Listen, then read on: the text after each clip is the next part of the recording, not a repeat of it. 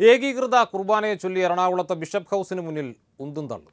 ഓശാന ഞായർ മുതൽ ഏകീകൃത കുർബാന നടപ്പാക്കാൻ അനുവദിക്കില്ലെന്ന് ഒരു വിഭാഗം വൈദികർ പറയുന്നു. ഇതിനു പിന്നാലെ കർദിനാൾ അനുകൂലികളും വിമതരും തമ്മിൽ ഉന്തും തള്ളും ഉണ്ടായതിന്റെ അത് നിയന്ത്രിക്കാൻ പോലീസ് ശ്രമിക്കുന്നതിന്റെയും ദൃശ്യങ്ങളാണ് കാണുന്നത്.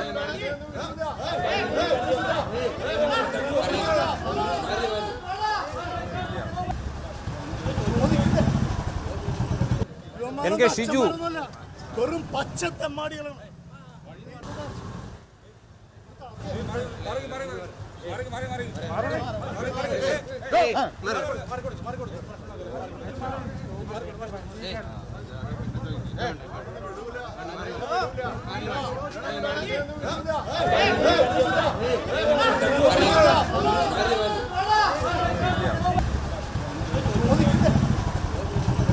യുവമാനൊന്നും അച്ഛന്മാരൊന്നുമല്ല.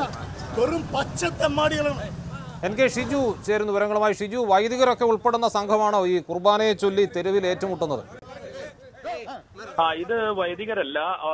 ഈ ബിഷപ്പ് ഹൗസിന് മുൻപിലുള്ള വിശ്വാസികളുടെ വിഭാഗങ്ങൾ തമ്മിലുള്ള പ്രശ്നങ്ങളാണിത്. അതായത് വൈദികരകത്ത് ബിഷപ്പുമായി ഇക്കാര്യങ്ങൾ സംസാരിച്ചു കൊണ്ടിരിക്കുന്നതിനിടയിലാണ് പുറത്ത് സംഘടിച്ച് നേരത്തെ തന്നെ അവിടെ ഈ ഏകീകൃത കുർബാന നടപ്പാക്കണം എന്നാവശ്യപ്പെട്ട് സമരമിരിക്കുന്ന ഒരു വിഭാഗമുണ്ട്. കർദിനാളിനെ പിന്തുണക്കുന്നവർ. ആ സംഘവും അതുപോലെ ഈ ഏകീകൃത കുർബാനയല്ല ജനാഭിമുഖ കുർബാന തന്നെ തുടരണമെന്നാവശ്യപ്പെടുന്ന മറുഭാഗം തമ്മിലുള്ള വാക്കേറ്റവും കയ്യാങ്കളിയുമാണ് ഇന്ന് ബിഷപ്പ് ഹൗസിന് മുന്നിൽ ഉണ്ടായത്.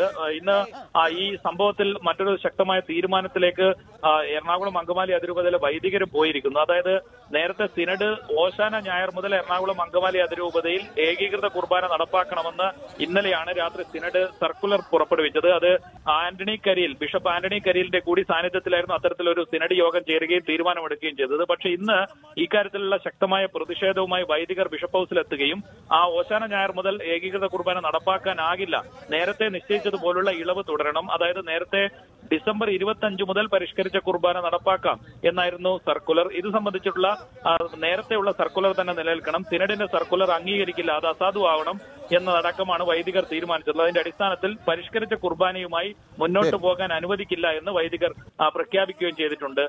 അബ്ജോത് ശരി. എൻ കെ ഷിജുവാണ് വിവരങ്ങൾ നൽകിയത്.